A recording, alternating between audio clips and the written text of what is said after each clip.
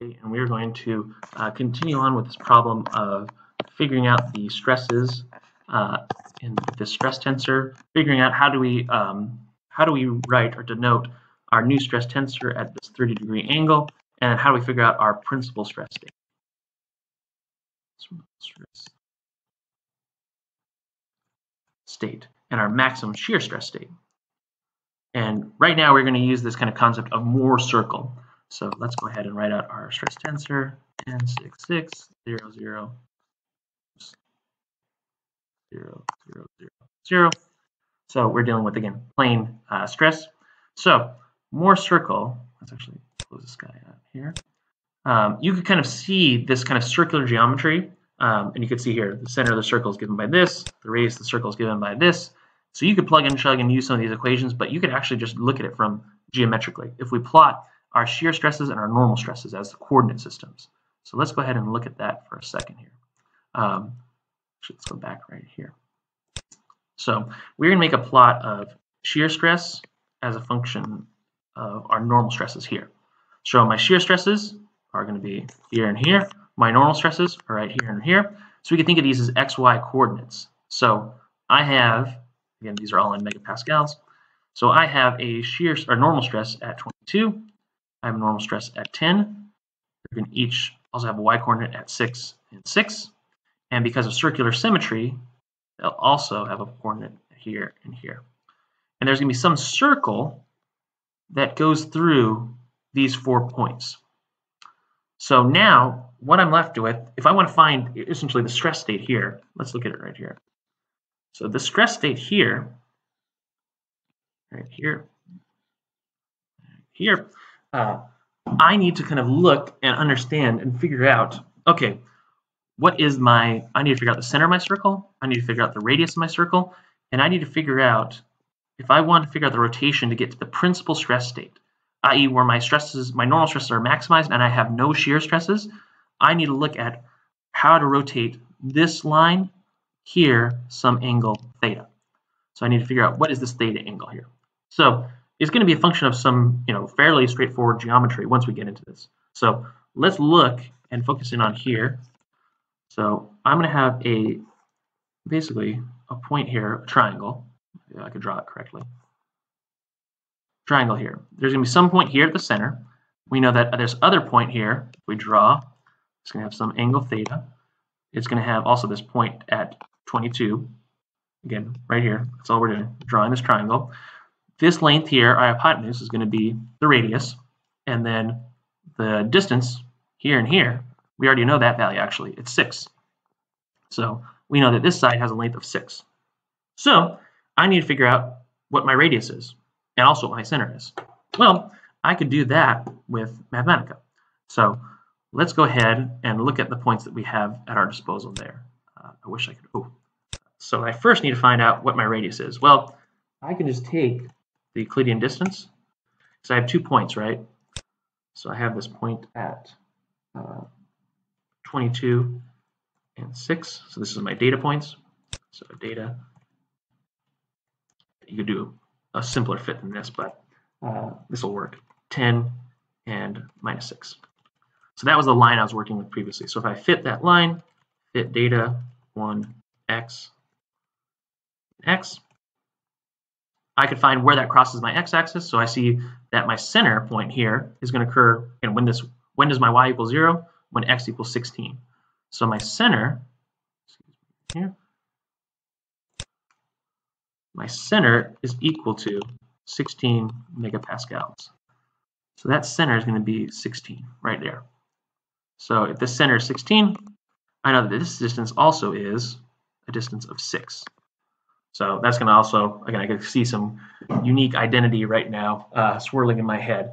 Um, but one quick thing here, um, this angle is not just theta, it's actually 2 theta.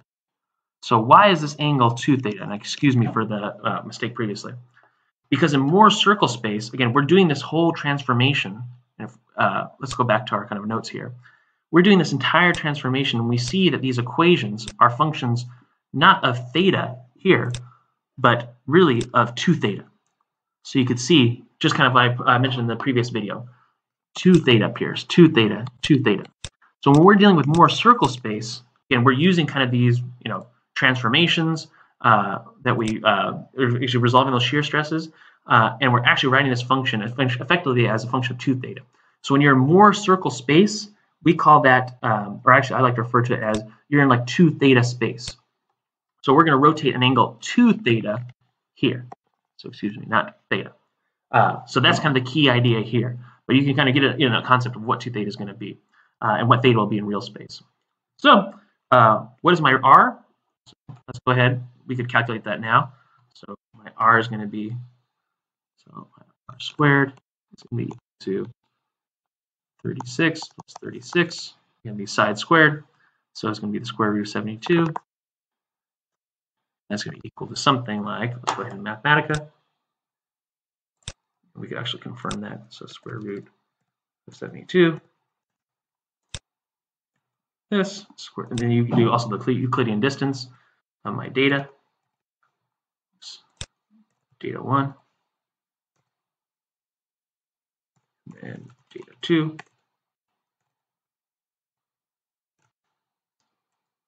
Let's see. Again, that's the whole distance. Again, we need to divide by two to get our radius, and we see we get the same exact uh, same answer. Excellent. So now I could also figure out what is that uh, what is that angle to theta. So if I take the opposite over adjacent, so solve for tan of 2 times theta. So set that equal to, let's go back to our Mohr circle. Our here, if I want to do tan of 2 theta, opposite over adjacent, so that'd just be a value of 1. So let's go back, solve for theta. Hopefully people remember this geometric identity. So again, we get 1 over pi, 1 over 2, times, which is pi over 8, 8 times 180 divided by pi, get in degrees. So 22.5. Or, as you kind of might imagine, this 2 theta is a 45 degree angle. So we need to rotate here 45 degrees in 2 theta space, 22.5 degrees in real space, uh, basically clockwise. And again, or you could again you could do the same thing, same procedure from here, and you could calculate the values here. Uh, you know, basically counterclockwise as well. Uh, to get so we need to move this two theta value of 45 degrees in order to get to our principal stress state here. So the principal stress state uh, occurs right here. So once we do that, now we can so we can kind of see what our sigma 1 value is. So our sigma 1 is just going to be, what is it?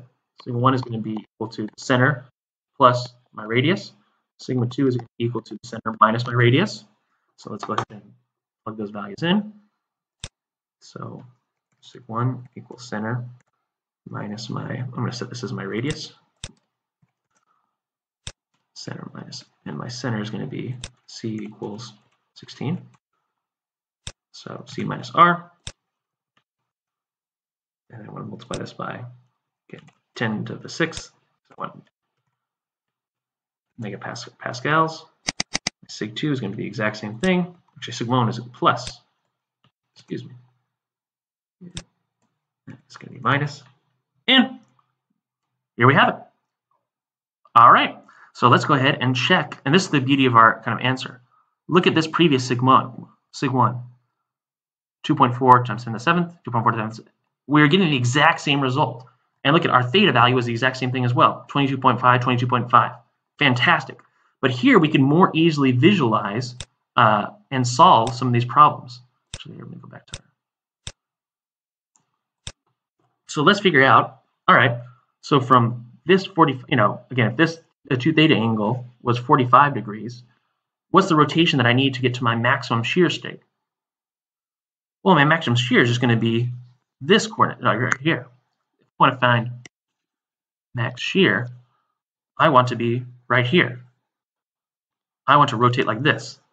So if this angle is two, in 2 theta is 45, then to get to here, I need to rotate counterclockwise a 2 theta of equal to 45 to get to my maximum shear straight.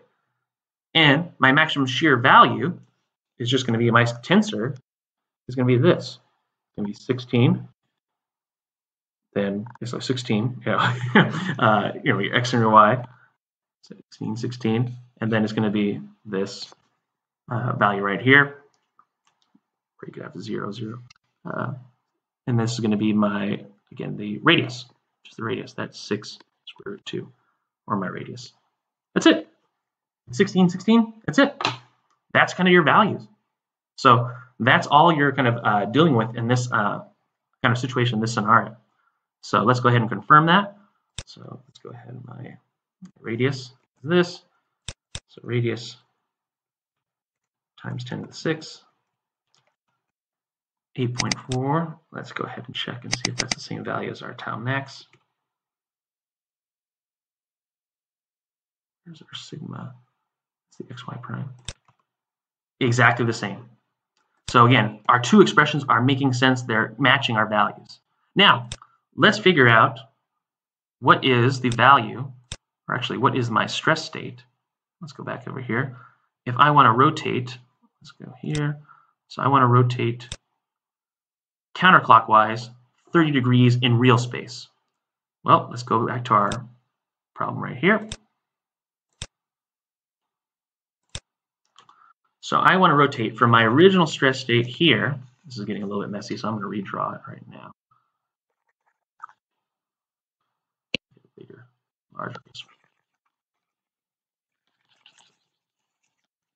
So I want to rotate.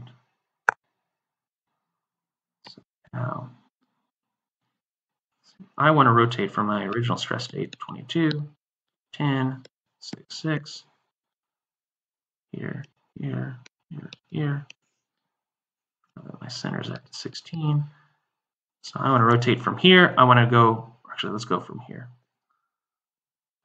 I want to go clockwise, or counterclockwise, excuse me, and I want to rotate a theta equals to 30 degrees. Well, then my 2 theta rotation, so if I want to rotate 2 theta counterclockwise, that would be 60 degrees here.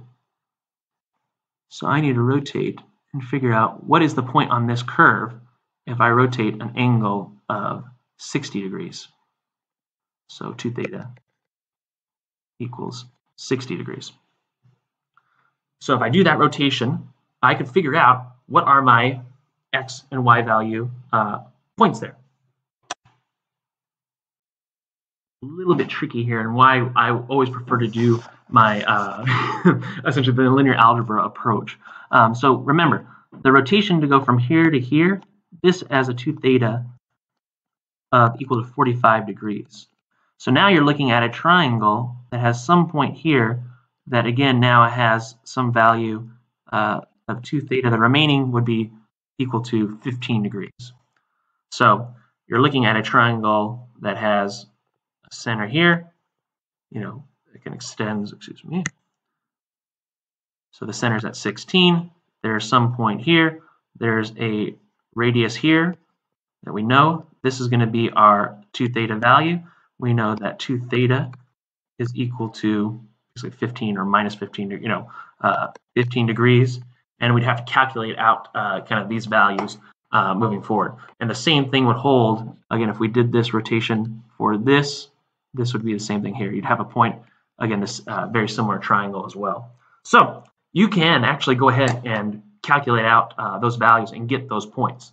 So for example, we know that this R value, if it's equal to six, uh, six half, we are going to kind of see that point right here. So we know, actually, let's figure out, let's figure out these different uh, values here. So let's go ahead and use our kind of circle geometry at this point. Geometry, I mean Mathematica. So uh, let's go ahead and figure out. So if I can look, I could solve for that y value. So I want to look because I need to figure out what is this distance. So I need to figure out that y value, which is going to correspond to my tau. And I need to figure out what is this point right here, i.e. this distance, which will also correspond to my one of my sigma xx versus my sigma yy uh, values. So let's go ahead and look at that uh, so all I'm going to do is do my sine of 2 theta is going to be equal to this, you know, value x here. is equal to x divided by my hypotenuse, r. So we'll kind of figure that out. Excuse me for kind of the mess here. Uh, x over my radius, so opposite over my hypotenuse. Hopefully my geometry is okay. Uh, so let's go ahead and solve for that. So solve for sine of my 2 theta is equal to 30, actually, excuse me, 15 degrees. And I'm going to set that equal to my opposite, which is x, divided by my radius, solve for x. Let me do that numerically. And so this is my value right here. And again, remember, it's this value is negative here. So let's go back to my drawing, our Mohr circle. This value is negative because it's below, it's going to be below here, so it's going to kind of fall around here. It's going to be the negative value, whatever that is. So if I look at that expression, so it's going to be negative times negative 10 to the 6th. So it'll be this negative value. So that's going to be my new tau in this 30 degree rotation. And if we look back here, it matches. Beautiful. So we can also figure out what is the other value, my x value, which is just going to be the cosine. So, uh-oh, that doesn't match any of these values here. But wait, that's my distance, remember? So let's go back to here. This is that distance. So I need to do my center minus that distance in order to figure out that value. I knew it. I just need to remind myself. I never make any mistakes in these videos. I'm perfect. Everyone here knows that's not the case whatsoever. Uh, so now all I have to do is this times 10 to the sixth and then right here, I can also get my 16 plus. And you can figure out which one is xx and yy. We could double check these values up here. And we could see they match. Here, here, here, here. Beautiful. But you can see it's kind of laborious, right? Again, I'm not a, you know, I'm not a geometry person, so I don't like to use this method. Um, for this particular. I think the Mohr circle is very, very excellent to kind of visualize the rotations, and it's a useful tool that you can utilize, uh, and the one that you might need on problems. But once you get to kind of figuring out what's the stress tensor, specifically for this problem, what's the stress state at some arbitrary rotation, I'm going to show you a new technique that you may might not have used before, uh, and hopefully it'll be a little bit helpful. So we will show you that in the next video. Thanks. Have a good one. See you next one.